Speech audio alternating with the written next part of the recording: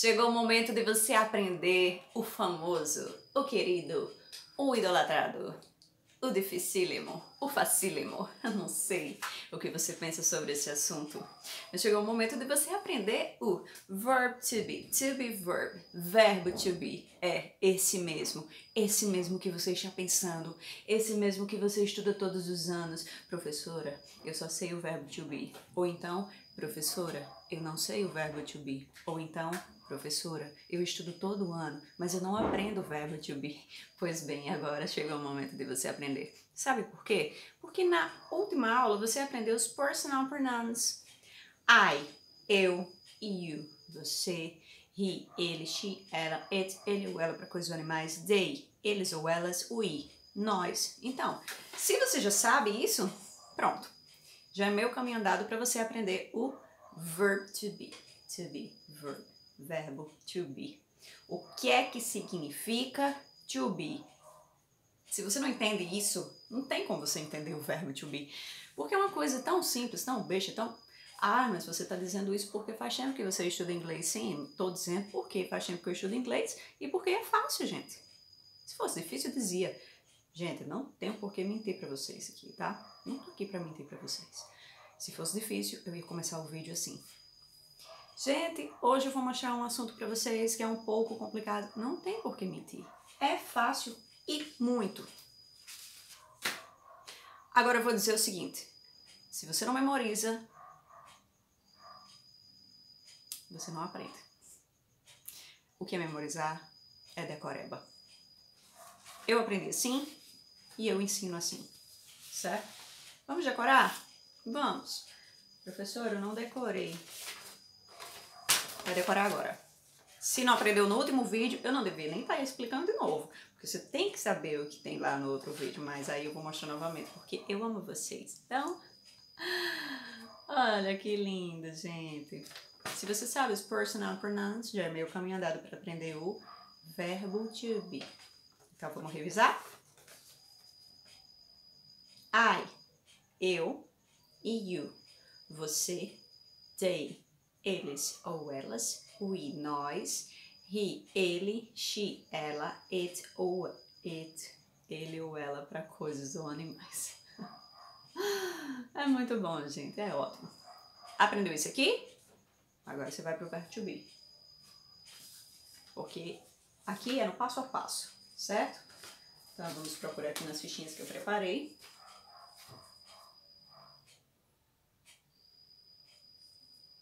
Verb to be. Professora, não aprenda o verbo to be. Aprende agora. Você vai aprender comigo. Se você não aprender comigo, você não aprende com mais ninguém. Olha só. Convencido, povo convencido. Verb to be. Verbo ser ou estar. Só isso, professora?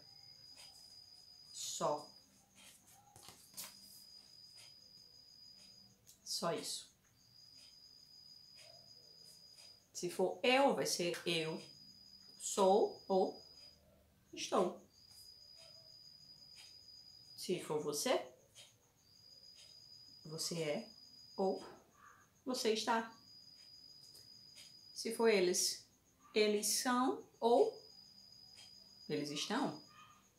E se for elas, elas são, elas estão. Se for ele, ele é, ele está.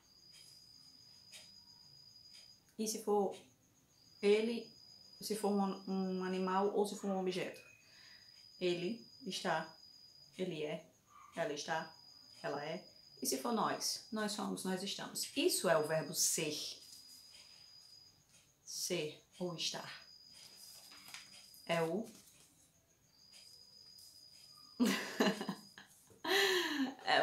to be. Certo? Vamos dar uma resumidinha aqui? Vamos lá. Fiz fichinhas com desenhos maravilhosos que você vai amar. Eu sou, eu estou. Você vai dizer I am ou I'm. Essa forma aqui é a forma abreviada, né? I am significa eu sou e significa eu estou. Eu fiz como se fosse eu. Essa aqui sou eu, tá? Eu sou, eu estou. I am, I'm. E you. Esse aqui é você que tá assistindo o vídeo. Parece com você? Não, né? Mas faz de conta que é você. Você é you are ou you're. Your. Significa o quê? Você é ou você está. Certo? Mais fichinhas. Esses aqui são seus amigos. They ou they. They are significa eles são ou então significa eles estão. Isso aqui é eu e você. Nós. Isso aqui sou eu, isso aqui é você. O Yare ou ir. Nós somos ou nós estamos. Tá?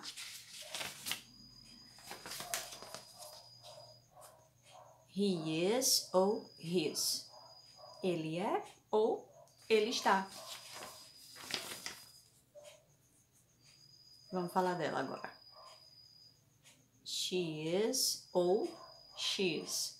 Ela é ou ela está. E por último, cadê? Que eu não acho. Mentira que eu não fiz, né? Não. Peraí, pelo amor de Deus. Fiz, eu fiz. Não, gente, por favor. Hum. Tá aqui. It is ou it's para se referir a coisas ou animais. Eu desenho uma flor, fenômeno da natureza. It is ou it's significa ele é, ela é, ele está, ela está. Então, o que, que a gente pode resumir disso tudo? Em teacher. A gente pode resumir que existem três formas de dizer ser ou estar em inglês.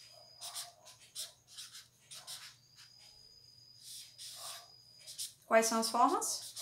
de dizer seu está em inglês? São três. Am, que só vai ser usado para I, I am. Is, que só vai ser usado para he, she ou it. E are, que só vai ser usado para you, they e you. Agora eu vou aconselhar seriamente vocês Peço licença aqui aos professores que ensinam de maneiras diferentes. Mas eu acho, e vamos com achismos, que se você não memorizar, você aprende, mas você vai demorar um pouquinho só para aprender, certo? Então eu agradeço aos professores que eu tive até hoje que é, me ensinaram, mas eu da minha maneira, aprendi memorizando, tá? Memorizando os pronomes, memorizando o próprio verbo to be, certo? Am, is e are. Esse é o verbo to be. Mas o que eu quero que você entenda é que significa ser ou estar e que existem formas de usá-lo, né? São três maneiras. Am, você só vai usar quando for I.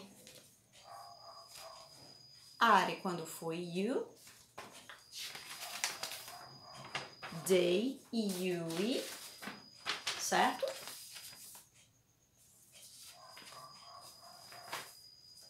E o is você só vai poder usar quando for he, she ou Cadê meu gatinho? Cadê? Cadê meu gatinho? Gente, pelo amor de Deus, eu perco esse direto.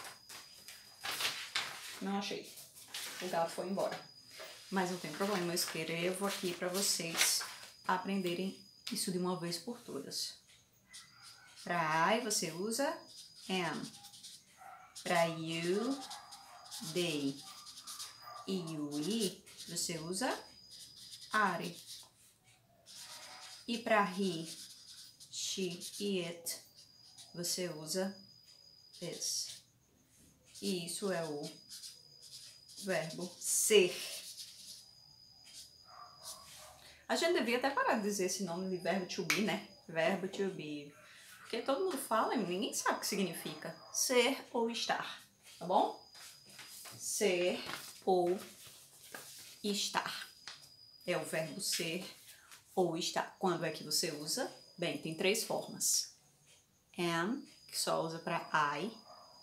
Are, que só usa para you, they, you, it e esse que só usa para he, she ou it.